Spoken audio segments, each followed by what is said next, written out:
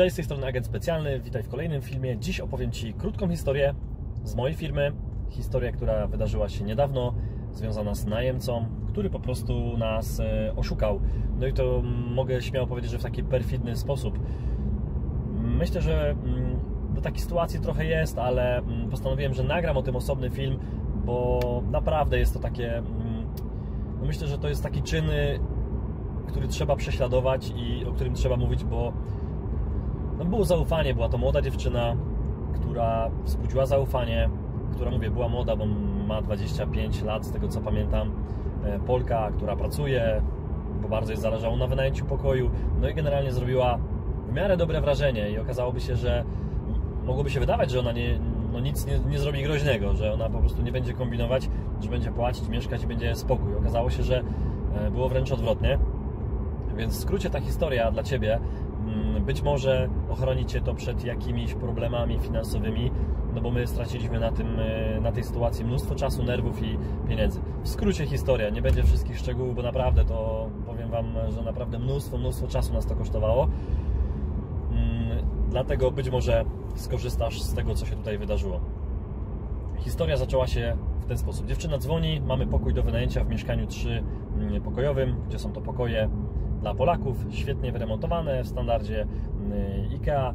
Zresztą na, moim, na jednym z moich filmów pokazywałem to mieszkanie, jak przerabialiśmy, jeden z e, pokoi na dwa. No i w tym mieszkaniu właśnie fajnym dziewczyna dzwoni, chce się wprowadzić. No i skracając historię, podpisuje umowę, wpłaca kaucję, wprowadza się bardzo szybko, nawet nie mieliśmy jeszcze łazienki skończonej, ale jej zależało, więc się wprowadziła. No i nie zapłaciła za za, za pokój, ale obiecała, dogadaliśmy się, że ona tam wpisaliśmy w umowie, że ona tam za kilka dni wpłaci resztę za ten pokój proporcjonalnie, no bo nie wprowadziła się na początku miesiąca, tylko e, w trakcie miała tam kilkaset złotych jeszcze dopłacić. No i okej, okay, zapłaciła tysiąc kaucji, reszty nie. No i historia się zaczyna, yy, zaczyna się tak jakby cała historia. Mm, no i ona nie wpłaca nam tych pieniędzy, pisze nam, że, że wpłaci, że jutro, że przecież wieczorem wysłała, że jak my nie mamy, no to chyba nasz problem, że wysłała potwierdzenie, a że nie dotarło, to może inny mail, wiecie, znacie to, nie? Czyli takie, takie zrzucanie odpowiedzialności i szukanie jakichś e, kolejnych opcji, żeby tylko mieć e, i grać na czas.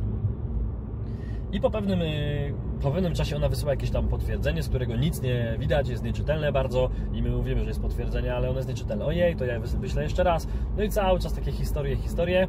I w pewnym momencie wymyśla coś, pisze SMS-a, pisze SMS-a, który można powiedzieć, że trochę wstrzymuje czas w tej całej historii, bo SMS mniej więcej brzmi tak, że przepraszam bardzo, ale bardzo źle się czułam dzisiaj, że nie było ze mną kontaktu, ale było u mnie pogotowie, y, no i jestem na kwarantannie. No i powiem Wam, że to nas mocno jakby zmroziło, bo ona jest na kwarantannie i mówi, że miała 40 stopni gorączki, gorączki, że było pogotowie, że ona była na jakichś badaniach, że dostała jakąś maszynę do oddychania w ogóle na noc. No dziwne rzeczy. No i Chcieliśmy tam do niej pójść, no bo przecież nie zapłaciła i chcieliśmy jakoś się z tym rozliczać. Lubią y, po prostu wymeldować i, i, i zerwać umowę, no bo skoro, skoro nie chciała płacić, to coś było nie tak. Ale nagle kwarantanna i to nas w ogóle całkowicie zablokowało. I najgorsze w tym wszystkim, że my już mieliśmy dziewczynę, która jechała do nas, drugą klientkę na drugi pokój, która chyba z dwa tygodnie wcześniej zadzwoniła do mnie i też była zainteresowana pokojem numer dwa i mówi, że ona jest z Wrocławia i ona do Tychów e, no, nie przyjedzie oglądać tego pokoju, bo jest to po prostu za daleko. Więc czy ona może ten pokój sobie zarezerwować? Ona napisze maila oficjalnego z danymi, z wszystkimi, ona potwierdza, że ona to weźmie, mm, że ona zapłaci karę, jeśli ona się wycofa. No po prostu wszystko super. Napisała SMS-a z danymi, że ona jest gotowa i tego i tego dnia będzie w, e, w miejscu tym i tym i wynajmuje pokój i podpisuje umowę. No i faktycznie faktycznie ta dziewczyna dzień wcześniej potwierdza, czy wszystko będzie ok. Mm, no i danego tego dnia jedzie do nas. Wyjechała z Wrocławia. I wyobraźcie sobie, że jak ona wyjechała, ta klientka numer dwa z Wrocławia, to godzinę po tym, jak ona mi potwierdziła, że jedzie z Wrocławia do nas do Tychów, podpisywać umowę i się wprowadzać, to godzinę po tym właśnie ta nasza mm, gwiazda numer jeden pisze nam tego SMS-a, że ona jest na kwarantannie, że nikt nie może wejść do mieszkania. I no my trochę jesteśmy w kropce, więc ja dzwonię do tej klientki z Wrocławia, do tej dziewczyny i mówię, że wie co, no taka sytuacja z kwarantanną. E, dziewczyna, która tam mieszkała, no właśnie nas poinformowała, że, że jest na kwarantannie. No a ta dziewczyna z Wrocławia mówi, no Pan chyba żartuje, ja już jestem w Opolu. Dwa tygodnie sobie to wcześniej rezerwowałam, a Pan nagle godzinę przed y, moim przyjazdem do Tychów mówi mi takie rzeczy. Ja w to nie wierzę. No i trochę się nie dziwię dziewczynie, bo faktycznie dwa tygodnie, yy, można powiedzieć, moich tak jakby potwierdzeń, takich zapewnień, że nic się nie stanie, bo ona się trochę bała, że czy, czy na pewno ja nie wynajmę komuś innemu w tym czasie, skoro nie mamy umowy. Więc sytuacja trochę patowa. Ja jej mówię, że możemy ją zakwaterować gdzie indziej, że mamy inne miejsce, ale w tym mieszkaniu no, mieszkać nie może, bo tutaj mamy kwarantannę. No nie mam tego potwierdzonego, ale mam takie zapewnienia i mam SMS-a od tej dziewczyny. Także no nie chcę jej narażać, nie mogę nawet tego zrobić. No ta dziewczyna jedzie oglądać inne mieszkanie, ono jest trochę gorsze, ale ona później napisze, że jednak e, ona jest bardzo zawiedziona i że po prostu ona nas poda do sądu. No i sytuacja się zrobiła niemiła. Wiecie, my generalnie chcieliśmy dobrze dla wszystkich stron. Okazało się, że ta nam pisze o kwarantannie, nie zapłaciła, ta nam e, grozi sądem, bo ją oczywiście w jej jakby mniemaniu oszukaliśmy w ostatnim momencie. Ona nie wierzy w tą kwarantannę tej dziewczyny. E, no i sytuacja nam się komplikuje. No tamta dziewczyna w ogóle znika, ta z Wrocławia, więc w sumie nie możemy nic z tym zrobić. E, skupiamy się na tej, na tej osobie, która tam mieszka. No i prosimy ją o jakieś informacje, czy ona czegoś potrzebuje, jakiejś pomocy, jakieś, jakieś, jakiegoś jedzenia w ogóle. No jesteśmy po prostu mili jeszcze, no bo chcemy, żeby ona wyzdrowiała, żeby ona wróciła do żywych i nam zapłaciła i żeby wszystko było ok, żeby mieszkanie się odblokowało jakby, żebyśmy mogli na nim zarabiać, bo na razie cały czas tracimy. No i powiem Wam, że jest bardzo utrudniony kontakt z tą dziewczyną. Ona co 2-3 dni nam tylko odpisuje, że ona śpi, że ona jest na jakichś lekach, że ona ma kolejne badania, że znowu była pogotowie, że ją ledwie odratowali, że to 40 stopni to jest non-stop.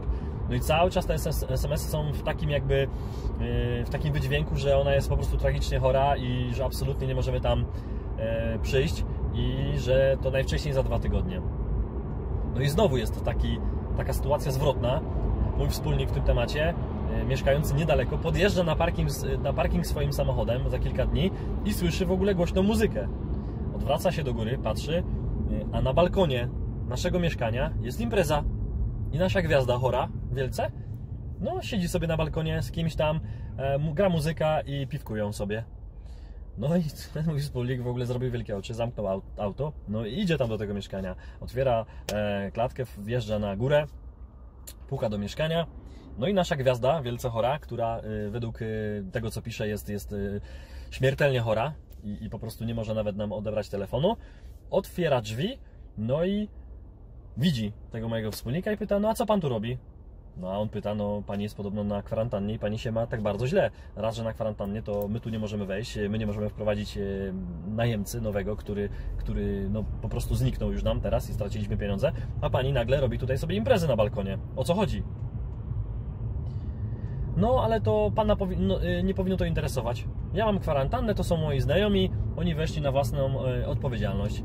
Także to jest. Y, chce pan wejść? No i ten wspólnik w ogóle zdębiał generalnie. Wiecie, wiecie, co w takich sytuacjach zrobić? No nie wiecie tak naprawdę, co jest prawdą, a co jest fejkiem. I no nie za bardzo wiadomo, jak reagować jeszcze w takich momentach, gdzie to wszystko się toczy bardzo szybko. Więc ona zamyka drzwi, mówi do widzenia. E, no i on jedzie, dzwoni do mnie, opowiada mi o tej całej historii. No i zastanawiamy się, co robić. E, ja powiem szczerze, że już nie pamiętam wszystkich szczegółów, ale tak próbuję sobie przypomnieć, bo to nie było tydzień temu, to już, to już było ponad miesiąc temu, e, albo jeszcze wcześniej. Mm, no i zastanawiamy się, jak reagować. No i prosimy ją SMS-owo o to, żeby ona potwierdziła nam, że jest na kwarantannie. Żeby nam dała mm, na maila jakiś skan, lub żeby nam wysłała, lub żeby nam dała telefon do sanepidu, gdzie możemy to potwierdzić. Ona nam oczywiście nie przesyła nic, oczywiście odpowiada, że wyśle, y, nam obiecuje nie wiadomo co i tego dokumentu nie dostajemy w ogóle. Nie ma żadnego potwierdzenia z pogotowia, z sanepidu, że ona na kwarantannie jest. E, czyli dalej nas y, zwodzi. No i generalnie mm, postanowiliśmy jednak, że, mm, że wypowiadamy jej umowę, bo nie ma dalej zapłaconych pieniędzy, nie ma potwierdzenia, że ta kwarantanna jest prawdziwa, i generalnie ta rozmowa z nią się zaczyna mocno nie kleić. Ona zaczyna wymyślać kolejne rzeczy, więc e, no, generalnie chcemy, żeby ona się stamtąd wyprowadziła. W międzyczasie mamy kolejną osobę, która chce się wprowadzić na, do tego mieszkania i mówimy sobie, że już tak naprawdę no, nie, nie dopuścimy, żeby ta osoba nam zniknęła. Więc wypowiadamy tej koleżance umowę z jej winy, no bo nie zapłaciła, siedzi w mieszkaniu, udaje kwarantannę według oczywiście nas, nie ma potwierdzenia żadnego, nie jest w stanie tego w żaden sposób potwierdzić. E, my dzwonimy na policję i potwierdzamy sobie, czy to mieszkanie jest zgłoszone jako mieszkanie kwarantannowe i okazuje się, że nie jest. Więc już mamy w zasadzie pewność, bo skoro na policji to mieszkanie nie jest zgłoszone jako kwarantanna, a przecież policja ma adresy mieszkań, w których są osoby objęte kwarantanną, no to znaczy, że nasza gwiazda sobie to wymyśliła. Nie mamy od niej potwierdzenia, więc podpisujemy umowę, jej wypowiadamy umowę i ona dostaje ją na maila i na SMS-a i dostaje telefoniczną informację, że, taką, że takie wypowiedzenie dostała i że ma czas y, na wyprowadzenie się i piszemy jej też, że mamy nowego najemcę. I my z tym najemcą podpisujemy kilka dni później umowę. Y, okazało się, że ten najemca nowy w sumie czystym zbiegiem okoliczności, bo to był jedyny pokój z y, balkonem, a ten nasz najemca pali papierosy, więc on sobie wybrał ten pokój od niej. I my mówimy, że mamy najemcę na ten pokój, więc ona ma wypowiedzenie, na, nabroiła tam bardzo, więc prosimy ją o to, żeby ona się wyprowadziła. No i, powie, i generalnie najemca chce się wprowadzić. Przyjeżdżamy z najemcą, który nam zapłacił kaucję, zapłacił nam cały miesiąc do przodu. Chcemy go tam wprowadzić i my informujemy panią, że ona ma wypowiedzenie, że prosimy, żeby się wyprowadziła. E, no a ona nie chce, więc no co, wzywamy policję. Przyjeżdża policja, e, tłumaczymy, jak to wszystko wygląda mówimy o tej kwarantannie. Policja jeszcze raz potwierdza, że mieszkanie nie jest zgłoszone na kwarantannę, więc to wszystko, co ona e, powiedziała, no, nie jest najprawdopodobniej, najprawdopodobniej prawdą. Ja nie jestem sędzią, więc nie mogę tego ocenić, ale policja na miejscu sprawdza sobie to wszystko.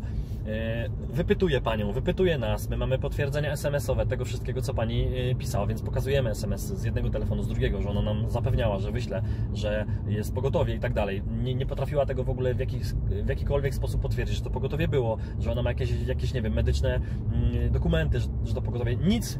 Wszystko ona wymyśla, albo przynajmniej nie wiem, po prostu tak szyje. Czyli ta historia jest policji sprzedawana od początku przez nią, ale ona nie jest w stanie niczym potwierdzić, że tak było. A my mamy potwierdzenia SMS-owe, mailowe, e, te, to, te fojkowe potwierdzenie przelewu. Jak widzicie, mnóstwo, mnóstwo rzeczy, gdzie naprawdę młoda dziewczyna e, wymyśliła mnóstwo rzeczy. Więc generalnie, no, my chcemy ją w normalny sposób, tak jak widzicie, wyprowadzić z mieszkania, bo nie zapłaciła i nam blokuje mieszkanie dostała wypowiedzenie i mówimy, że mamy nowego najemcę, a ona mówi, że ona się nie wyprowadzi, że ona nie ma gdzie, że my nie możemy ją tak traktować, że przecież e, ona jest człowiekiem, a nie psem, że my ją straszymy, po co ta policja.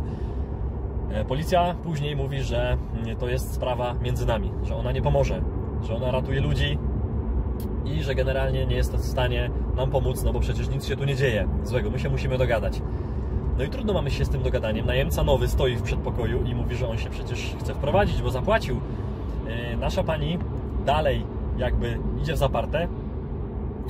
No i tak naprawdę bierze telefon i przy nas wykonuje telefon do jakichś swoich znajomych. Podaje adres tego mieszkania i mówi: Chłopaki, przyjedźcie, bo, nas tu, bo mnie tutaj chcą stąd wyrzucić, a ja się nie dam. Także mnie straszą, chłopaki, przyjedźcie. Podaje ten adres E, ten najemca nowy, stojąc przy nas, mówi, że on się boi, że ktoś go pobije, że skoro ona wzywa jakichś kolegów, no to on się boi i on nie chce tutaj być i proszę wezwać policję drugi raz. Wzywamy policję drugi raz, informując, że policja już była na tym mieszkaniu, więc pewnie znają sytuację, więc jeśli wysyłają, to proszę wysłać e, ten sam patrol. E, no i policja przyjeżdża na wezwanie tego nowego najemcy, który stoi wystraszony i nie za bardzo wie, co się dzieje. My znowu jesteśmy trochę w dziwnym świetle, no bo wynajmujemy mieszkanie z jakąś dziewczyną, która nie za bardzo wie, co ma zrobić. No i powiem Wam, że, że sytuacja y, bardzo patowa, y, ale finalnie policja przyjeżdża. Policja oczywiście znowu wypytuje ją, dlaczego ona próbuje nas e, straszyć, po co te telefony i kogo ona wzywa tam do tego mieszkania, żeby przyjechał, w jakim celu. Więc ona znowu wymyśla, że to są jacyś, jacyś koledzy, którzy mają jej pomóc walizki znieść. No także historia, bym powiedział, śmieszna, może z jednej strony, z drugiej strony bardzo skomplikowana, mm, a z trzeciej strony może się wydarzyć chyba każdemu. I sami widzicie, że że jest to trudne i naprawdę próbujemy negocjacji z nią, normalnej rozmowy. Tam nie było ani krzyku, ani żadnej przemocy, nikt ją nie próbował na siłę wyrzucać z tego mieszkania, tylko po prostu mówić, że realnie ona nas na, y, na straty naraża i blokuje mieszkanie i to jest nasz biznes i dlaczego ona to robi, więc y, prosimy, żeby się wyprowadziła. Mało tego, proponujemy im, żeby się wyprowadziła do jakiegoś hostelu, gdzie dajemy jej numer, żeby on, jeśli ona nie ma nawet czasu, pieniędzy jeszcze na to, żeby się wyprowadzić do nowego mieszkania i nie ma pieniędzy na to, no to żeby się wyprowadziła do jakiegoś taniego hostelu. Dajemy jej numer telefonu do ludzi, którzy mają normalne warunki, ona się może wyprowadzić za 15 minut. I ona z tego nie korzysta. Proponujemy jej transport, jakiegoś kuriera z tymi jej ciuchami, które ona tam ma. Ona nawet nie ma mebli, więc generalnie wyprowadzka jej to jest kilka walizek z ciuchami, więc to nie powinien być problem. Więc widać że generalnie, że dziewczyna robi problem, e, próbuje nam uprzykrzyć życie, no i właśnie co w takiej sytuacji? Co, weźmiesz ją za fraki, zawołasz swojego kumpla, który ją wyrzuci. No, no, no, no nie można tego robić, bo okazuje się, że później to ty jesteś winny, że kogoś napadasz, że kogoś wyrzucasz, że naruszasz jakąś e, nietykalność cielesną, że stosujesz przemoc. No nie można tego zrobić. Więc powiem Ci, że ten film jest e, raz po to, żeby Cię uchronić i przestrzec przed takimi ludźmi, którzy kombinują, mm, Druga rzecz, żeby tak naprawdę mm, no, dopytać Ciebie, czy miałeś podobne sytuacje i czy może y, właśnie masz jakieś rozwiązania prawne czy, y, czy inne, które mm, mogą tak naprawdę uchronić inne osoby y, przed, przed takimi oszustami, no bo myślę, że inaczej nazwać tego nie, nie, nie można. To była dziewczyna, która po prostu w, w prosty sposób chciała oszukać. No i tak naprawdę oszukała. Straty bardzo duże z naszej strony, bo no bo nikt się tam nie wprowadził przez ten czas. Później mieszkanie trzeba było jeszcze wysprzątać, bo też e, można powiedzieć, że z tą czystością była dziewczyna na bakier, ale generalnie zobaczcie ile czasu, ile godzin poświęconych e, na to, żebyśmy, żebyśmy tak naprawdę ten temat te ogarnęli. Także napisz w komentarzu, czy jeszcze oczywiście mm, historia, y, koniec tej historii. Ona się skończyła szczęśliwie. Dziewczyna napisała SMS-a, jak zeszliśmy, zostawiliśmy nowego najemcę w mieszkaniu i zeszliśmy do auta po prostu, to napisała nam SMS-a, że wygraliśmy i wyprowadziła się. Y, ale naprawdę była to trudna historia. Nie chciałbym takiej przeprawy nigdy już mieć. Także napisz w komentarzu, czy miałeś podobną sytuację, czy miałaś podobną sytuację. Jeśli tak, to w jaki sposób sobie radzisz z takimi sytuacjami? Mm, oczywiście zgodnie z prawem, no bo wiemy, że nie można inaczej działać. E, napisz oczywiście też, jeśli mm, jesteś osobą, która na przykład zna się na prawie, jesteś prawnikiem, może osobą, która zajmuje się takimi rzeczami, jesteś ekspertem właśnie od rynku nieruchomości i wiesz w jaki sposób e, reagować w takich sytuacjach, bo myślę, że takich sytuacji spornych jest dużo, a w czasach, w których żyjemy teraz i w których przyszło nam żyć, czyli w czasach kryzysowych, czasach bardzo dziwnych, gdzie ludzie będą tracić pracę, gdzie na pewno bezrobocie wzrośnie, gdzie coraz więcej ludzi będzie miało coraz mniej pieniędzy niestety, no to sytuacji takich, gdzie będą braki płatności, zatory płatności będzie niestety coraz więcej i takich sytuacji, jak opowiedziałem, no niestety może być również więcej. Także przekaż ten film znajomym, którzy wynajmują, żeby wiedzieli, że również niestety takie sytuacje, gdzie w czasach trudnych, gdzie ten koronawirus wymyślony czy niewymyślony. Oczywiście coś tam jest, ale uważam, że tak jakby cała sytuacja jest też mocno napompowana, ale sam wiesz, że mnóstwo osób, szczególnie starszych, bardzo tą sytuacją się przejęło i się po prostu ten strach jest ogromny. I teraz myślę, że to jest bardzo takie nieetyczne, bym powiedział, szczególnie nie, nieetyczne to działanie tej dziewczyny, bo ona wykorzystała właśnie sytuację i no i strach związany z tym, co się działo. Ona nie wymyśliła czegoś, że ona nie ma pieniędzy, tylko ona po prostu wymyśliła coś, co jest y, bardzo, bym powiedział, medialne, czyli że ona jest na kwarantannie, że jej życie jest zagrożone, że karetka. No, powiem szczerze, że w pewnym momencie bardzo współczułem i chcieliśmy jej pomóc, e, ale to, co się wydarzyło na koniec i jak ona nas potraktowała, no to myślę, że to szczególne potępienie tak naprawdę jej się należy. Także miła koleżanko, jeśli to oglądasz, to wiedz, że jest to o tobie i pamiętaj, że karma wróci. Dzięki za film. Nie życzę Wam takich sytuacji, życzę Wam spokojnych najemców, takich, którzy płacą i którzy chcą naprawdę mieszkać i wynajmować, a nie kombinować. Wszystkiego dobrego, do zobaczenia.